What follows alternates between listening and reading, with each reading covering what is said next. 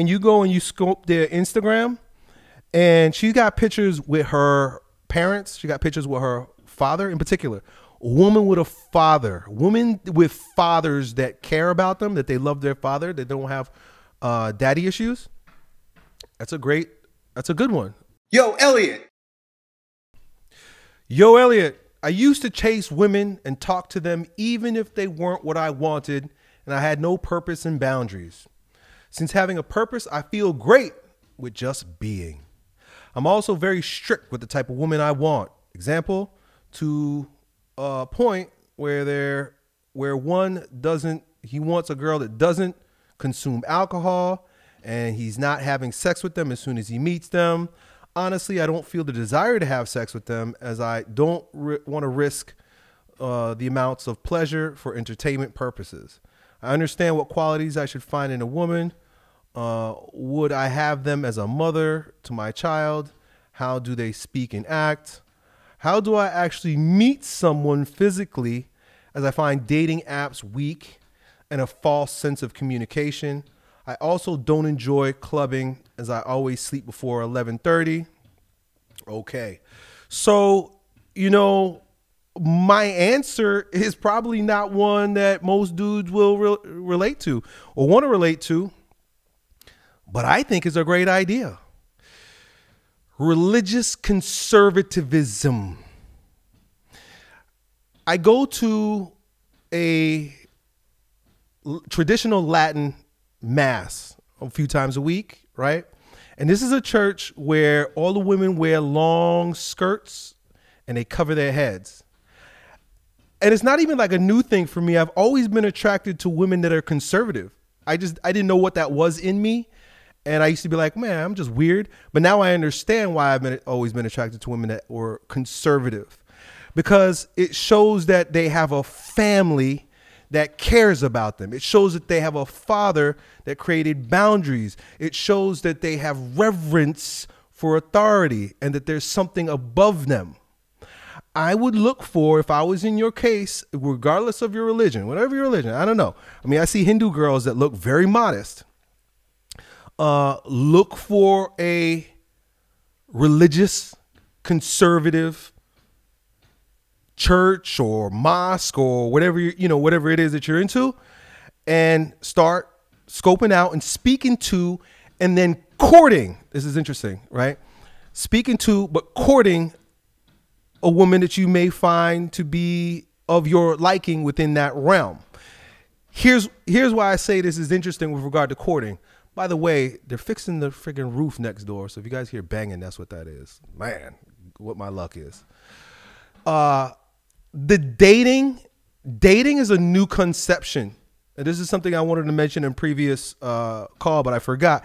Dating is a new conception and it's and dating today is basically a rush into how quickly we can become emotionally and physically entangled with one another. How quickly can we get into bed? How quickly can you we become addicted to each other? That's what dating is. Dating is how quickly can we get hooked up? How quickly can we become dependent on and start having emotional problems with one another or emotional uh, uh, disordered emotional attachment to one another. Courting, right? And if you want to go on YouTube, you could see uh, Father Chad Ripperger put up a, a, a, there's a YouTube video called "The Five Stages of Courting." Courting is legitimately like about vetting someone's vetting someone's capacity or vetting someone's uh, ability, vetting someone's character in terms of their suitability, that's the word I was looking for, suitability for lifelong, long term, healthy, happy, monogamous, traditional, conservative, family relationships, which sounds great to me. That sounds amazing to me. That sounds wonderful to me, right? What else would you want if you're looking for a woman, right? Besides sex, well, then swipe. If you're looking for sex, then just swipe. But if you're looking for a wife, if you're looking for a long-term partner, somebody to to build your kingdom with, then you gotta look for somebody with that kind of character, that that kind of of value, virtue, mindset, faith. And so that's my advice. I would go to where I would try to find the most religiously conservative community in your, you know, whatever your nationality or whatever your religion is. Bro, I was in Miami uh, a couple weeks ago, and in Miami, there's a lot of Hasidic Jews, Hasids, the Hasidics, and these are these are religious, really conservative Jews, and the women they walk around with long skirts, and some of them cover their heads, and they look conservative, and they're usually pushing pushing baby carriages. Um, I thought that was amazing. Amish, dude, I'm just telling you what I think. Amish, right? When we were camping, me and my kids, my family, we were camping once. An Amish family was next to us. The way the the women were and the little girls were, uh, modest, conservative, pious, respectful to their parents. Man, I wish I was Amish. Go be Amish. You know who's got it nailed too? And look, I'm not. This is not about judging religions or telling you what religion to be about. It's about. It's truly about conservatism, traditionalism. Conservatism is not about, even about the religion. I'm Catholic, so I would say go Catholic. But these Mormons, these Mormons got it got it nailed in a lot of way. I'm not saying everybody from every, you know, I'm not saying all of them. But I know a lot of Mormons and they're religious, conservative, and the women are pious. They don't look, act, behave in many instances like the thoughts on Instagram, right? The last place I would go is on Instagram to go find a to look for a woman. That's the worst. That's the craziest. That's the craziest. And I see it all the time. Like, you know, every once in a while there'll be a woman that will DM me and I she's not obviously trying to press, but I'm like, why are you hitting me up? And I'll go and look on their profile, and it's it, the minute I see bathing suit, belly button, bare shoulders, uh, and and selfies, I'm like, eh, because she's a billboard bitch. I don't want a billboard bitch. I don't want somebody who's who's walking around looking like a billboard, you know, because advertising and shit. And when you look at a girl's Instagram, that's basically a billboard. If I go on her Instagram and I see that she is is modest and she's religious and maybe she got some chickens in the backyard. If I see pictures with her and her father, oh, this is huge.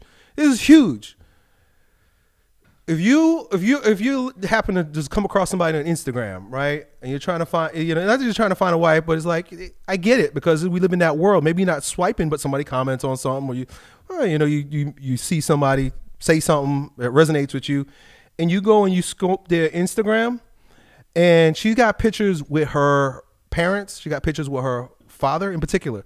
Woman with a father, woman with fathers that care about them, that they love their father, that don't have uh, daddy issues. That's a great. That's a good one. That's one that I would I would pay attention to. Um, and of course, now we're talking about red flags and shit, but like you know, tattoos, weird hair, stuff like that. When I say weird hair, I mean like like different colors, half half shaved, you know, stuff like that. Um, most of the time, they're rebellious women. I don't want a rebellious woman, right? And so that's my advice on that, man. So your question is, you know, how would I go about looking for a woman? Go to your religious services. Find the most religious conservative service available in your your faith. and you're not going to be a creeper. Don't go there as a creeper. But you know what? A lot of times they have like the youth get-togethers, right? I know the, uh, the the the traditional Latin mass that I go to. They have like youth get-togethers that are chaperones, you know, for for for young people, for young men and women to get to know each other. This is going to be an issue when I when I'm you know ultimately at some point my daughters are going to need husbands, and I you know don't think I don't think about this stuff. And this is what kings of the old used to do and this, this is what I'm thinking about doing myself because you know my children are not out there. I'm not letting my children be out there. Uh, you know, I can't control every aspect of their life, but I'm not creating a world and an environment where they just my kids are just out there. So what you do, and what the old kings used to do, is that they would have galas, they would have balls, right? Like like uh, Cinderella at their house or in their organization, right? And they would invite the families with the young men, you know, the children, the, the, the sons, to come to the gala, right? To the ball, like like uh, Cinderella ball, so that only they only have access to, or they have access to the best, the cream of the crop, right? Parents, fathers, create create space where your daughters and sons can find great mates. I think that's something that we need to bring back. I think that's something that we need to do. We need to we need to create relationships with and be in organizations or create organizations.